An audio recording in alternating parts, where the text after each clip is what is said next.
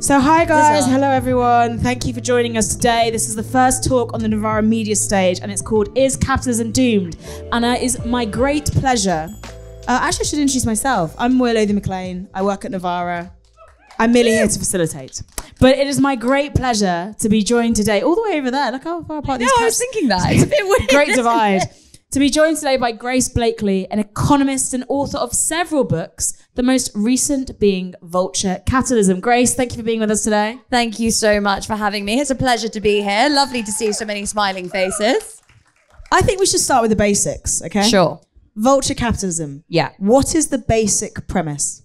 Okay, so vulture capitalism is just capitalism. I had to come up with a snappy name for my book, which is about how capitalism really works. And vulture capitalism was something we settled on based on a number of different stories that I have in the book to illustrate the point. So the basic premise of this book is that capitalism is not as we're often led to believe, a free market system. You know, we have this view of capitalism as something that's like nice, decentralized, democratic system uh, where markets decide uh, who gets what, right? And this was a really central part of the ideology that underpins this system and that underpinned the big transformation that we had in the 1980s towards a more, in inverted commas, free market system. The idea being that you had the state on the one side and the market on the other side. And if you had more market, that meant less state and vice versa. And this was all based on this, you know, USSR versus US dynamic that underpinned the Cold War. So we have this idea that capitalism means markets. You have more state, that means less capitalism. Sorry, more state, less capitalism, more markets, more capitalism. Um, and that isn't really how this system works.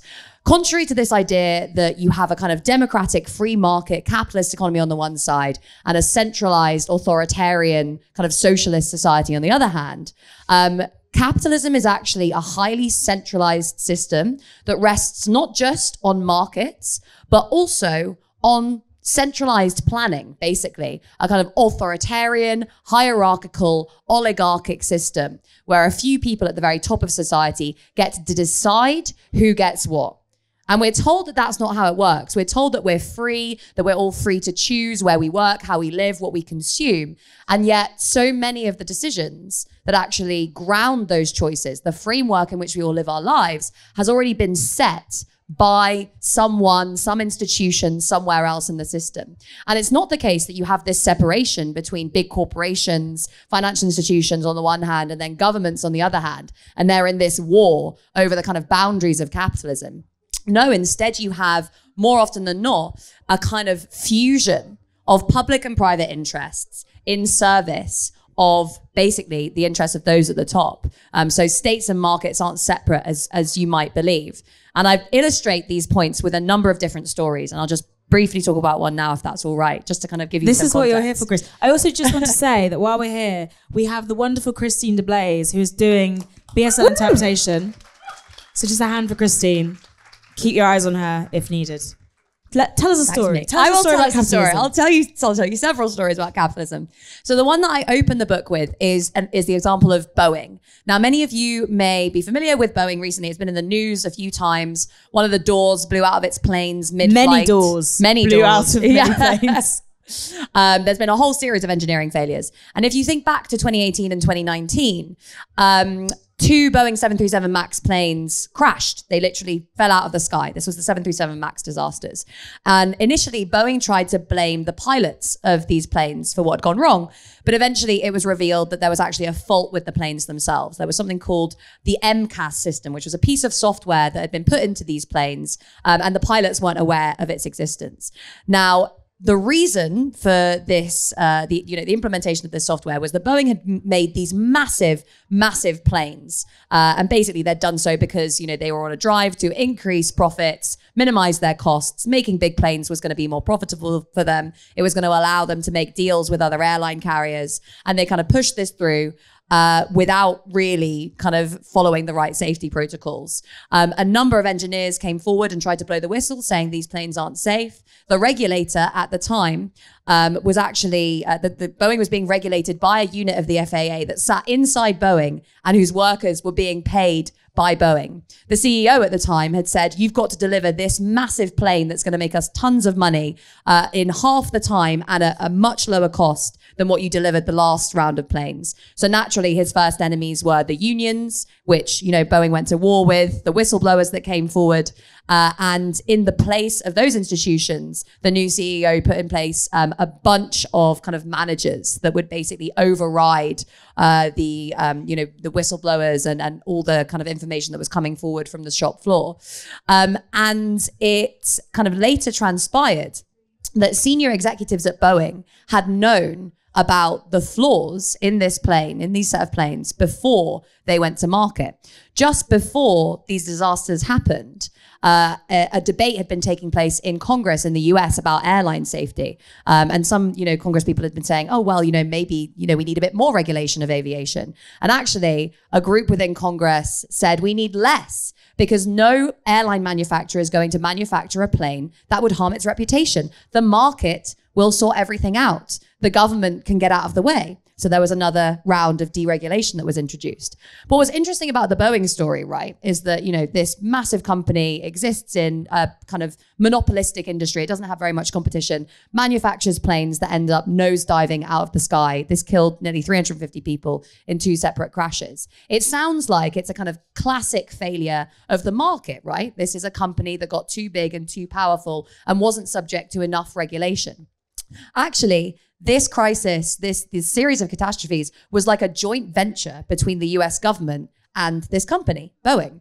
So Boeing had been the biggest recipient of corporate welfare in 2018 and 2019. It got massive tax breaks, massive subsidies, a huge amount of support from the US state. It was an integral part of the military industrial complex. It had massive contracts with the Pentagon. And in fact, the transition within Boeing that led the company to focus so resolutely on shareholder value um, rather than kind of lionizing engineering expertise as it once did, was engineered by the American state, which said you need to merge with this other failing aviation company, McDonnell Douglas, which provides us with a lot of contracts in which we need to basically stay alive. So you can't make this clear distinction as to what happened. It's not as though Boeing got carried away and it wasn't being regulated properly. And if we had a bigger state doing more things, then that would have made the situation better. Because actually, in this case of kind of capitalism run amok, the blame can be laid just as much at the feet of big government as it can big business. So then the question is, how do we fight back against this kind of toxic fusion of what is effectively planned capitalism, anti democratic capitalism that provides us with few ways of holding those at the top at the top to account. They're not going to be held accountable through the market and they're not going to be held accountable through the government. So how do we hold them to account? Well, we have to do it ourselves. And how do we do it ourselves? And how Come do we on. do that? What's the, what's I was going to carry on, but I didn't want to deprive no. you of the role. As I said, I'm just I'm just facilitating. You're on a roll, Grace. okay, fine. I've done quite a few of these. The book came out in March, so uh, it's been a while. Um, so, what can we do about that? Uh, we have to kind of find this third force within society that allows us to create accountability, that allows us to pull power down from these institutions that dominate our lives. Um, and yeah, really kind of democratize all of the systems under which we live, democratize our politics, democratize corporations, democratize finance. And I look at lots of ways that we can do that in the book. The two examples that I like to use is the example of Boeing is on the one hand, and then Lucas Aerospace on the other hand, so Lucas Aerospace was a big aviation company in the UK that was around in the 1970s. Um, and it was about to go under, it was under threat from competition from abroad.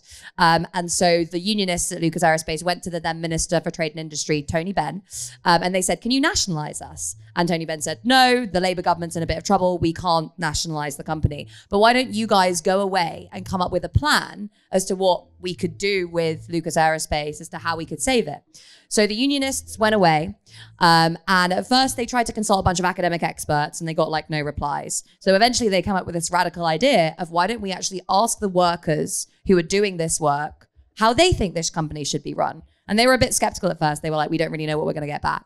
The response they got was astonishing. They had workers from the across the corporation saying, firstly, we're producing weapons that are being used by authoritarian regimes all around the world. We don't want to do that anymore. We want to produce socially useful technologies. We want to produce kidney dialysis machines, wind turbines. And here are all the instructions and specifications that you will need to show how we can use the resources that we have now to transform this corporation into producing things that are completely different. Oh, and by the way, we think that this firm should be run completely differently as well. We don't need to be managed. We don't need this rigid hierarchy where people at the top are controlling our every move and telling us what to do all the time. We believe that we can actually govern ourselves. It's a very radical idea within this corporation. Um, we believe that we can create a kind of democratic, publicly owned company that produces socially useful technologies in place of this kind of hierarchical private company that produces weapons at the moment.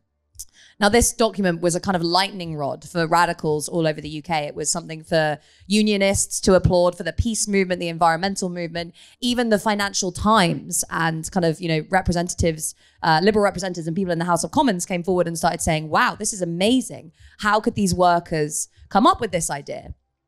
And I think this distinction is actually what tells us the most about the difference between capitalism and socialism the distinction between Boeing and Lucas Aerospace. It's not which had the biggest government telling them what to do, and that determines which is more socialist. It's not which is most subject to kind of free market principles and subject to the most competition, because neither of these firms were subject to very much competition. Both uh, worked with and around their governments um, and existed in a context that was kind of, you know, uh, yeah, set by these big states that were very much kind of in in line with the interests of the owners of these big corporations. The difference between these two examples of how to run a big aerospace company is one was based on a principle of democracy and one was based on a principle of hierarchy and authoritarianism.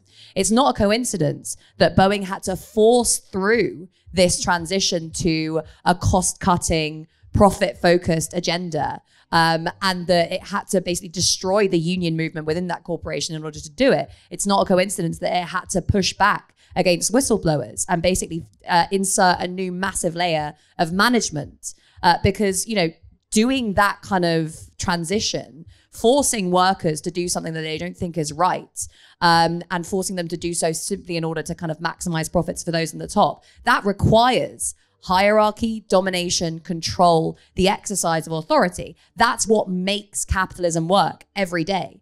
Because we're all forced to show up to work. We're forced to do what our managers tell us to do. We're forced to do what governments tell us to do. You know, we are forced at kind of pain of starvation and destitution to just go with the flow and basically obey most of the rules that are set by other people around us.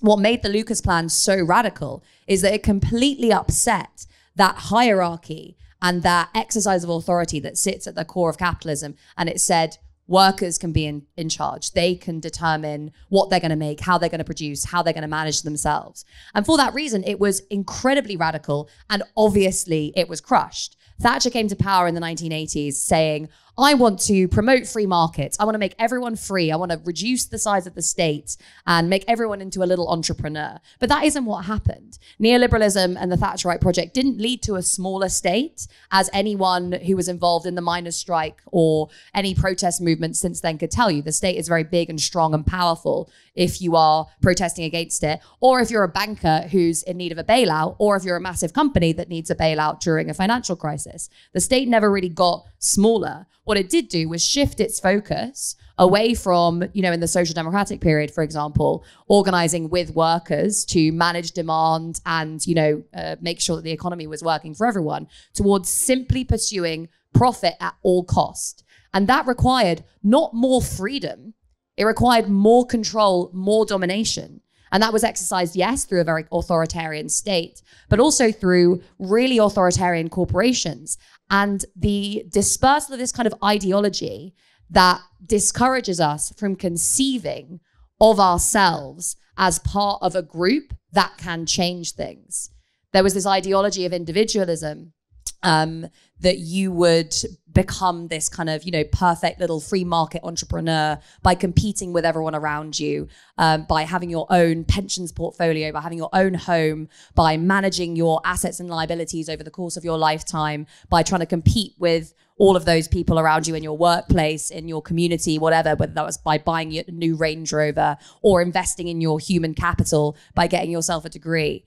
Um, this idea of kind of creating an entrepreneurship of the self to make yourself into the perfect neoliberal subject who would only think about competition with those around you rather than c- collaborating in order to resist this system that was exploiting you. And those were the real shifts that we started to have in the 1980s. That was the neoliberal shift. It wasn't about free markets. It wasn't even about shrinking the size of the state. It was actually about retooling the state to make it serve the interests of capital. And it was about crushing popular power to make us compete with each other instead of cooperating and collaborating to build something new. Um, and in the final bit of the book, I look at all of the amazing experiments that have existed since the Lucas plan in democratic self governance. Um, so, people taking charge of their workplaces, their communities, taking charge of the streets, whatever they're doing.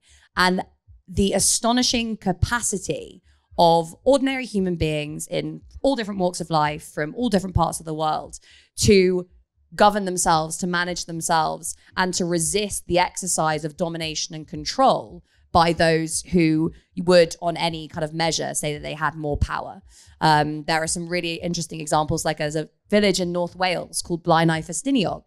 I mean, this was a really left behind town um, it was subject to all these kind of government interventions that were trying to kind of drag it back up again. And at some point, the people in this village said, we think we can do this better ourselves. So they started a bunch of community uh, owned companies. Um, they started to uh, buy up some of the shop fronts using the profits that had been generated by these companies and then rent them out to local businesses. Ultimately, they realized that this was a former slate mining town. Um, so there were very high rates of fuel poverty, lots of slate insulation. And there was a big foreign energy company that was they're generating hydroelectric power in the mountains nearby. So they were like, why can't we start our own community energy company and use it to deal with fuel poverty? And they did that and they managed the whole transition and they set up institutions to be able to do that. And suddenly politicians were coming down and saying, how did you do this? How can we do this everywhere else? You know, we want to replicate this model from the top down. And the answer from them was, no, this is something that came from our community and can be done in lots of other places, but you can't do it for us. Um, and I think, you know, a big problem with like the left that we've had for quite some time is people who think they know a lot. And I think I'm guilty of this as well. I remember going around the country during the 2019 election being like, vote for Labour, we're going to make your lives better. And then seeing these faces of people being like, yeah, well, we've been told that a number of times before. Why should I believe you? You're not even from here. Like, you don't know any of my issues or whatever. And we do tend to do that. We tend to kind of treat people as, um, you know, uh, kind of receivers of our ideas uh, as though we can kind of go into, into a community and say, vote for us, we're going to make your life better, or join our movement, we're going to make your life better. When actually, it that just kind of reinforces the sense of alienation and disempowerment that makes people not want to get involved in politics in the first place and that makes them much easier to control and exploit. So when we can as the left, I think, push back against this model by encouraging people to organize collectively and conceive of themselves as part of a wider group that can fight for change in their places. I think that is the foundations of a movement that is going to be much more successful than anything we've seen in the past and is really the only way to fight back against the sense of pervasive anger, apathy, disillusionment that comes from existing in a society in which your entire life is controlled, but you're constantly being told that you're free. The title of this talk is Is Capitalism Doomed? Even if there is not an intervention of the type you talk about, is capitalism currently in some sort of death spiral? But who is it taking down in its current form? I mean, capitalism is at this point in time so interwoven with every system that we use to reproduce existence that it is hard to imagine capitalism imploding without it taking everything with it, right? And that's the problem. It's how do we start to build ways of living that aren't based on principles of capital accumulation on the one hand and kind of domination and control and hierarchy on the other hand that have brought us to this point. Um, and how do we do that locally and at scale over a relatively short period of time? Because, you know, if we are thinking about the most likely thing to bring capitalism down, bring civilization down, we all know it is climate breakdown and it is coming much, much faster than anticipated. And there are two options. You know, you will often hear people kind of in the center saying, we don't have time to do this properly. You know, we need to deal with the world as it exists now. We need to just, um, you know, impose carbon taxes, act very quickly, kind of do what we can to tinker around the edges of the system to try and, like, you know, create some change. Uh, and decarbonize. The problem is, is that if we don't start from the bottom up, if we don't start forcing accountability through our political systems, then ExxonMobil is going to continue running things behind the scenes. There's another example that I use in the book of ExxonMobil itself, actually. This was a company that knew about climate breakdown as early as the 1970s. It had its research scientists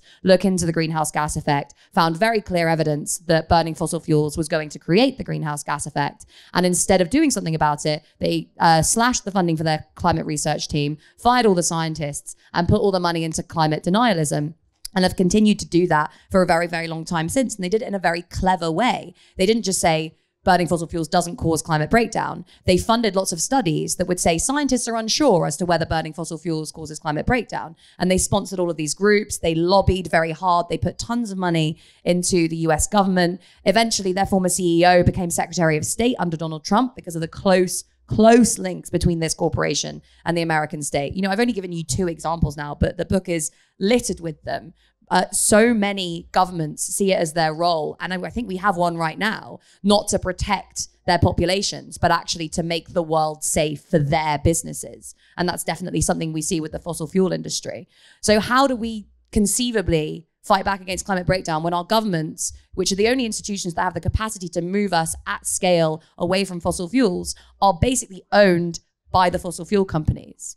You know, the only way that we can actually do that is through this process of democratization, which cuts back against capitalism as well. You know, if we see capitalism as not just a system that is based on free markets and therefore having more state will undermine, you know, the operation of capitalism, we know that's not true. If we see capitalism as a system that is fundamentally at its core a system based on domination, then moving away from that and democratizing society at every level moves us away from capitalism. It also allows us to create mechanisms of accountability that mean that ExxonMobil can't control our government, or BP can't control our government, or whoever can't have so much access and influence that it's able to undercut any measures that we um, attempt to implement. And that requires us to organize on so many different levels. It requires us organizing on our communities. And I've got a load of great examples in the book as to how people have done that in our workplaces, whatever your workplace is, and however you might organize on the streets, as hard as the government is trying to make it for us. And they're trying to make it hard for us for a reason, and that's because it works. All of these methods we have to start now. And it seems slow and agonizing and not enough at the time just to show up and demand change. But realistically, it is the only way through. Perfect timing, as I've just been told that we have to wrap it up. Okay. Um, I want to say a massive thank you to our guest, economist Grace Blakeley. Her book, Vulture Capitalism, is out now. You can get it at all good bookstores and maybe some more nefarious ones too.